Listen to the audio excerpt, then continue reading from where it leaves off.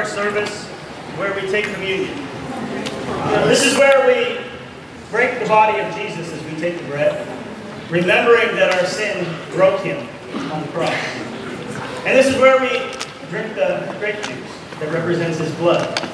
And we recognize the blood that was spilt for us so that we could be here today. Uh, communion is a time for reflection. It's a time to examine ourselves. The Bible actually says if we don't examine ourselves, then we drink judgment and we fall asleep in the church. In 1 Corinthians 11. And, and yet, it's a time to also recognize the extent and the magnitude of the forgiveness that we ourselves have received from God. And so when we leave communion, this is something that we do, the Bible says, like as one man, as one church. In one moment, at this very time, right now, God ordains that we should take communion properly and thus be, have completely clean hearts all together so that we can worship Him appropriately. So I ask of you that take communion appropriately. Some say, my, my heart's not right, so I will not take communion. I say if you're standing before Jesus, you would get your heart right like that. And so I'm going to ask you to imagine that you are standing before Jesus because he is present in this room with us right now. And that you decide to let go of anything and everything that is not God in this moment. You're going to notice a difference after this point in the service. The energy level, while you think it's high, is going to go through the roof. When you recognize the forgiveness you have received and the gratitude wells up in you, that's the driving force for everything as a disciple of Jesus. Be turning your Bibles to Matthew chapter 26. God says, Be still and know I am the Lord. Yeah, we just don't like to be still. Like, I always have to be doing something. It's my nature. You're all giggling at me, those who know me. I just I have to do something all the time. At 2 in the morning, 1 in the morning. Okay. And yet, the Lord says, when I stand before the Lord, I'm going to be very still, guaranteed. In Matthew 26, in verse 62, Jesus shows us an example of not only being still, but being silent when we need to be silent. It says in verse 62, the high priest said to him, I charge you an oath, by the living God, tell us if you are the Christ, the Son of God. Of course, there was many accusations. He was being attacked, lied about. You know, I've noticed a lot of people don't like it when people talk about it. And we have all kinds of reactions to that. Come on, Ron. And yet the only proper reaction is what Jesus does right. Right. Says, but Jesus remained silent.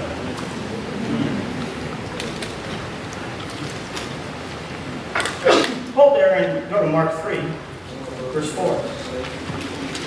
There's another instance of being silent.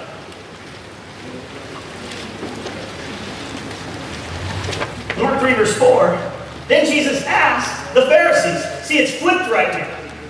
In the first verse, the Pharisees were asking Jesus questions, accusing, attacking. And yet Jesus, right here, is asking the Pharisees a question. And he says, Then Jesus asked them, Which is lawful on the Sabbath? To do good or to do evil, to save life or to kill? But they remained silent. You know, it's interesting. This one's a totally different silence. You know what I'm talking about? Have you ever had that kind of silence? Where somebody's talking about you? Or somebody has said something that shows that what you're doing is wrong, or, uh, and, you, and you remain silent in a different way. See, here's our issue as people. Of course, I'm the pot calling the kettle black when I share these things. We all have these things. The first issue is that we don't remain silent when we need to. And we create our own experience in life when we're supposed to be silent and we don't remain silent. But then we're usually pointing the finger in those times when we don't remain silent. I've been there. But then there's the time when we don't like what's happening We don't like what was just said to us, so then we remain silent.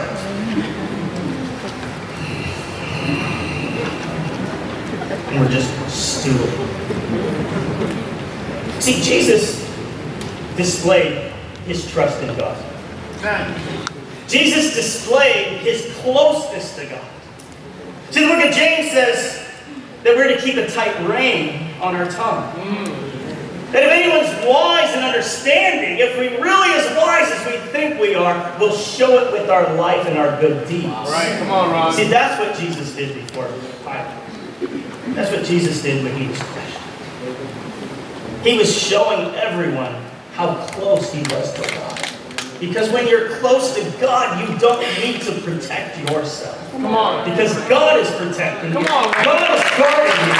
And God will give you favor without moving a finger, or most importantly, without moving a tongue. Come on, I'm going to let my wife share I think when I think about the cross, what it means to me is trust. Um, it's interesting that we are talking about uh, silence. Um, being raised, my name is Tracy Harding.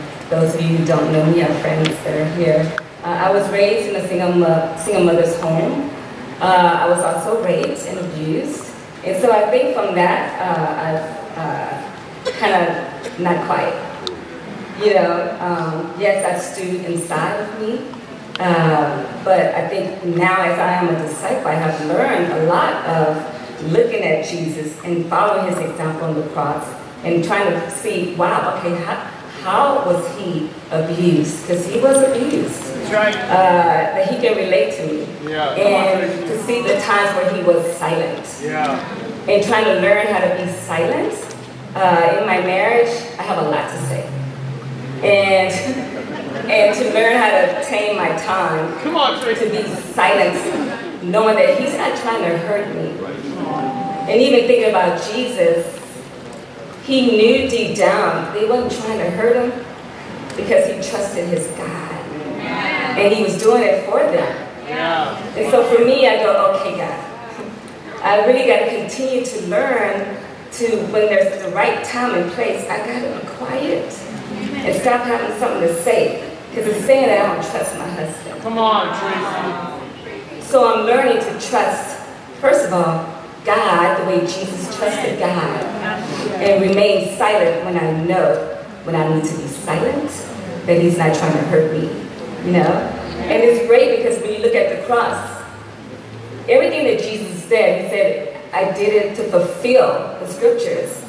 And for me in my life, I go, everything he's doing in my marriage, with my children, uh, that he's doing it to fulfill the plan he has for me. Come on. But I gotta trust him. I gotta remember the cross. And I gotta be silent when I'm be silent.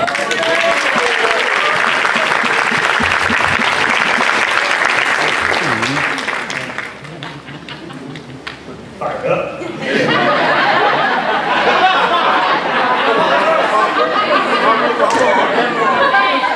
Communion was such a happy time. Man. No, in reality, see, this is the difference in our life when we put on the armor of God and when we don't. When we don't put on the armor, we know we're not protected, so we protect ourselves. Yeah. Come on, Ron. See, we think in those moments when we need to be led, that we need to understand Yeah. Mm. and stop and question, which is refusing to be led. God thinks we need to be silent. And so today, as you take the bread, please don't just take a piece and eat it. Please take a piece and break it Ooh. and recognize that that's what each and one of us have done to Jesus. As the grape juice goes down your throat, realize that blood is what cleanses us from our sin. If we have faith that that's what it does. Yeah. Come on, come on. And today, let's remain silent when we need to remain silent as a preacher, I know about speaking a lot and talking a lot. And yet, since I've come back to LA, I've had to learn I need to be silent. I, I am a disciple who is a learner at all times. Yeah, come on, Ron. And uh, I appreciate our leadership with Tim and dan Come on. And, uh.